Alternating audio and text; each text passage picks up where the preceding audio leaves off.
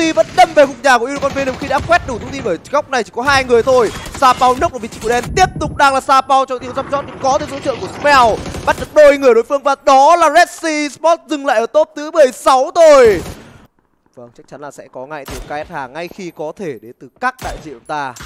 Ai cũng mong muốn có mặt ở trong top 8. Và như đã nói toàn là những số điểm hàng đơn vị vậy nên là vét được điểm nào hay điểm đó. Sun Sister, vị trí của Run bị knock out ở phía của Văn Nghị, New Generation Esports còn bên này Sun Sister muốn ép về khu nhà của team No One. Mèo Ú đang đứng rất gần vào vị trí của Feven nhưng đây là khu vực nhà không phải là dễ công đâu.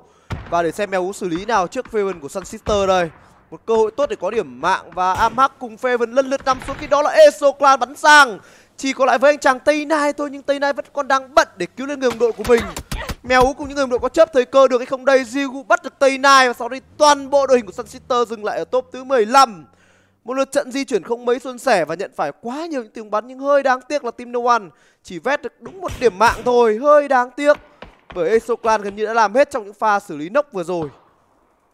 Enter Force 36, Attack on Round đều có thể sẽ là những mục tiêu mà chúng ta hướng tới giai đoạn hiện tại. Điểm chênh lệch cũng là có, ta hoàn toàn có thể lấy được. Jayken bắn nhưng mà nó lại bắn rất dính với phía team No One. Màu vàng kia có vẻ như là cũng bên phía đội của Terraton 5 Xavier knock out được Flucky rồi. Sát thương được xả vào Jigu nằm xuống với sát thương Trick Chibirit lấy mạng Vertu Và bên phía đội Team No One đang bị kẹt Chúng ta không thể nào vào được khu nhà trước mặt. Vỡ tàn nát rồi. Lâm Bảo có được cho mình điểm đầu an đến từ Reed Nhưng đây là góc quá khó. Còn đúng một người đến bên phía đội team No One Terraton 5 bắn luôn cả vào one cone và người cuối cùng là mèo ú thì bây giờ mới đang tới. Mèo ú quyết định đâm thẳng xe vào bên phía đội Unicorn Venom rồi. Và đây sẽ khả năng cao điểm kill dành cho UV MT vừa làm đôi mạng bên phía Anthem Force 36 như vậy là Sa Pau lại có cơ hội được gặp lại người đội cũ. Tuy nhiên thì đã có những quyết định di chuyển rồi thì phải. Nhưng bất ngờ thì Teddy knock out vị trí của Sa Pau. PMA với anh chàng Empit cùng Snoke đang ép về khu vực nhà kho. Có vẻ như họ đã kiếm đủ thông tin ở khu vực đây và ép về khiến cho Sapao không thể xoay chuyển tình thế vẫn còn đó Smell ở trong khu kho và rõ ràng một mình Smell sẽ là không đủ rồi. Mèo ở phía dưới gần như cũng không thể có thể góp đam được vào bởi góc này cũng đã khuất. Nhưng Sylvie cũng đã sẽ phi, phi xe quay về đây để hỗ trợ cho anh chàng Smell. Và như vậy với Unicorn Venom còn đó với ba người cơ. Purple Moon Esports dừng lại top 14 trước Global Esports set BMA Teddy đã quá yếu máu và cần thêm thời gian hồi cho mình cái first aid kit và mèo ú xử lý được siêu phi của Unicorn Venom khi siêu phi đang quay về đây để hỗ trợ cho Smell. Hơi đáng tiếc nhưng vẫn còn vị đó vị trí của Jayken nữa. Và sẽ rất vất vả cho Smell đây. Smell bị knock out bởi quả nết của snop rồi, không thể được cứu lên nữa. One Call dừng lại ở top thứ 13 thôi. Giao tranh đang nổ ra liên tục nhưng PMA có mặt trong khu kho này đấy là bởi góc cam của Malaysia. PMA không thể làm gì hơn trong cái khu vực kho này cả và giao tranh của tôi lại đi đâu rồi. Unicorn Venom, Jayken không thể hỗ trợ đồng đội và quay về góc nhà mà trước đó, trước đó đã có những cái chấn thủ đến từ các thành viên của Unicorn Venom. Và với PMA, vâng lại là PMA. PMA thủ lại khu vực kho, vâng lần này họ có vị khách đó là Exo Clan. Exo Clan bắt đầu muốn tò mò và dấn tân trong khu vực kho khi đây là khu vực kho tương đối đẹp và thêm tiếng giao tranh bên này nữa, New Jason Esports và Deadly Strike bởi góc này của NG đã out bo ra và họ muốn di chuyển vào trong bo phải vượt qua cái chướng ngại vật này. Enterfox 36 dừng lại ở top thứ 12 tảng đá với hai người Deadly Strike đang lộ ra và nếu có tiếng trả nết thì có thể sẽ bắt được rất nhiều người. Hakai trả nết, xử lý xong Jason cũng với cả Maurus. Nhưng bên này vẫn còn Crazy Boy và Lucky G. Có quá nhiều người đã phải nằm xuống chỉ trong một vài phút vừa rồi. Đạt blue nửa cây. Deadly Strike vẫn đang tiếp tục đưa những lượng đồ của mình sang để với Văn Nghị. Bây giờ Lucky G, tôi cảm giác là anh ta khó máu tụt quá nhiều. Và ta cần điểm kill này. Bò sắp tới rồi. Chuẩn bị chạy thôi anh em ơi. New Generation Esports muốn cứu Văn Nghị nhưng vẫn chưa thể nào làm được. Và cuối cùng thì Jayken bên phía Unicorn Venom đã hạ gục đi vị trí của Dallas Rider Lucky G. Top 10 có luôn cho Exo Clan.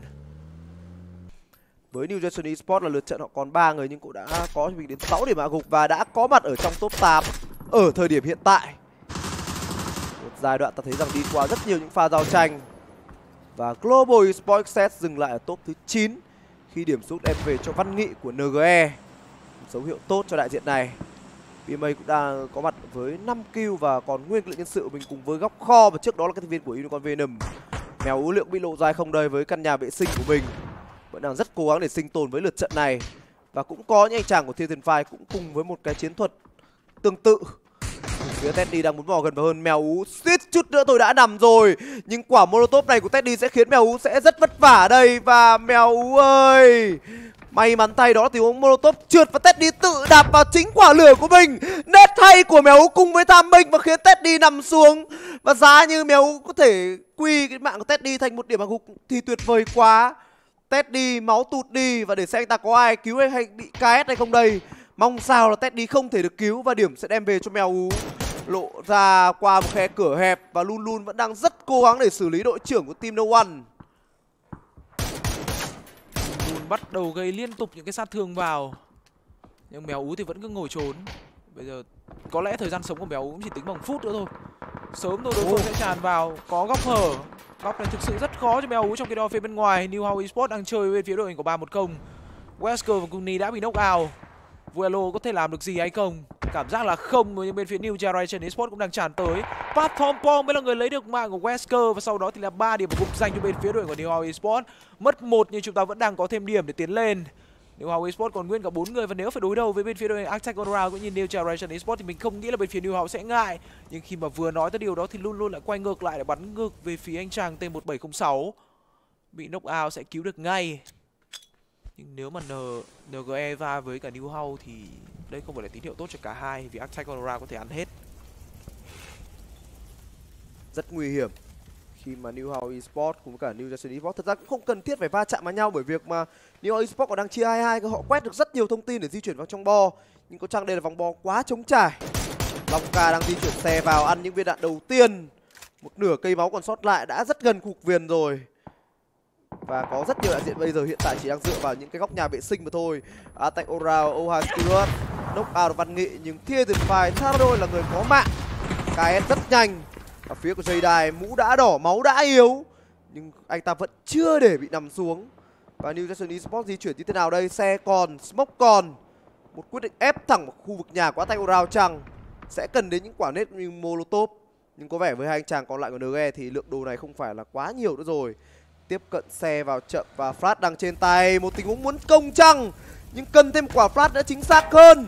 Quét sang cái cánh bên cạnh, nhưng quyết định có không phải là đẩy vào góc nhà vệ sinh này mà đi thẳng ở bên trong bóng bo quá khó khăn cho Hakai những điểm đem về cho New House Esports một dấu hiệu tốt, nhưng sau cùng đạt blue vẫn là con mồi cho Jan Phú phía attack on round.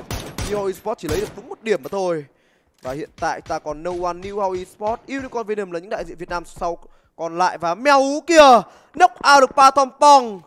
Và nếu mà quy thành được một điểm kill thì tuyệt vời quá. Hiện tại với New How Esports sẽ chỉ còn cách top 8 đâu đó khoảng chừng 6 điểm thôi. No One cũng vậy.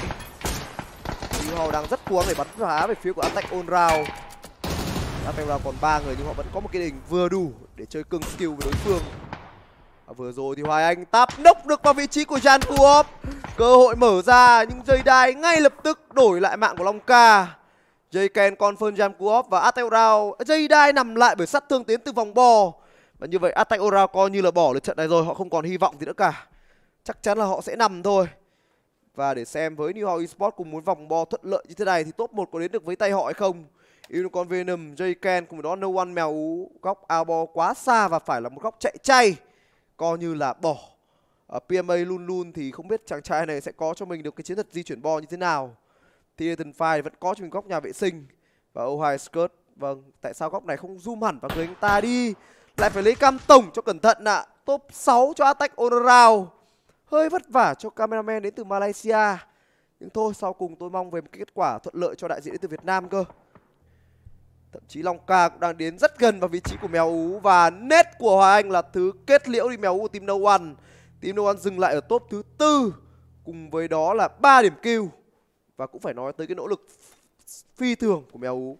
Rất xuất sắc và rất tuyệt vời rồi. Và New House Esports 6 điểm kill có được. Và nếu có top 1 thì tỷ lệ vào top 8 là rõ như ban ngày. Và Thiên thiên Phai trong pha này thì phải chạy chay thôi, chứ họ thì còn xe nữa và bị lốc lại hoàn toàn. Nhưng luôn luôn của PMA vẫn chưa để bị lộ ra.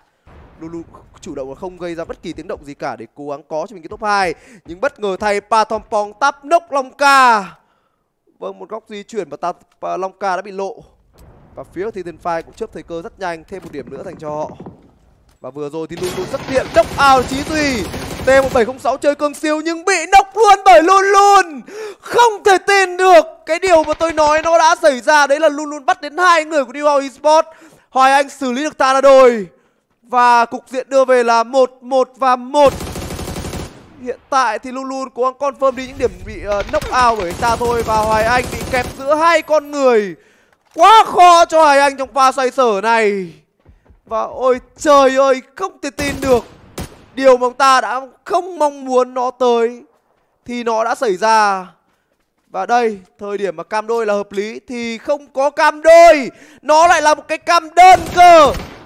Không thể tin được Top 1 dành cho PMA Với tất cả những điều mà chúng ta chỉ biết nói rằng là không thể Nhưng nó vẫn xảy ra.